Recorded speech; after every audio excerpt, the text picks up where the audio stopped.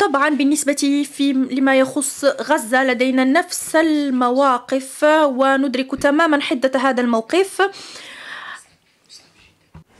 وحنا عندنا اليوم اتفاق.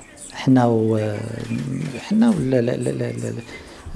الحكومة الإسبانية على أن هذا الوضع هو وضع لم يعد يطاق. وكنتقاسموا مجموعه من المبادئ آه، إزاء هذه القضية هذه.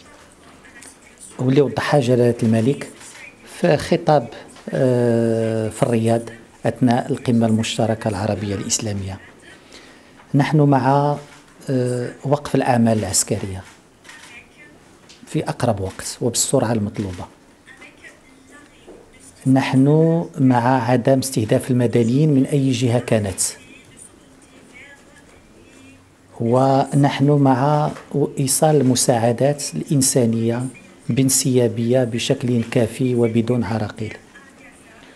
ونحن مع تقوية دور السلطة الفلسطينية كممثل شرعي للشعب الفلسطيني وكمحاور أساسي للمجموعة الدولية فيما يتعلق بالقضية الفلسطينية.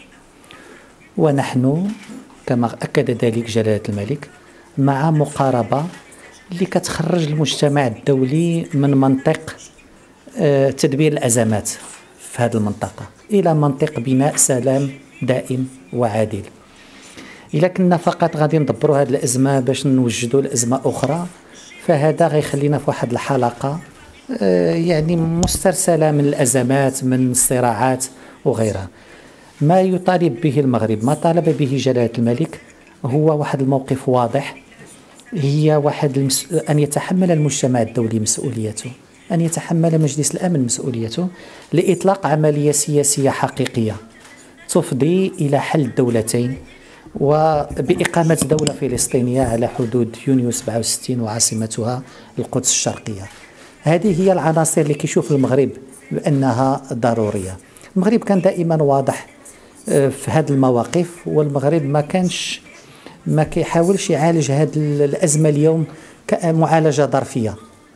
المغرب وجلاله الملك أكد على ذلك أكثر من مرة.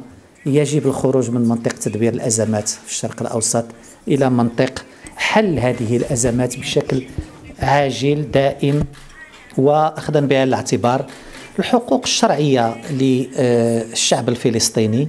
وكذلك آه، يعني حق إسرائيل في أنها تعيش في أمان وسلم في مناخها الإقليمي.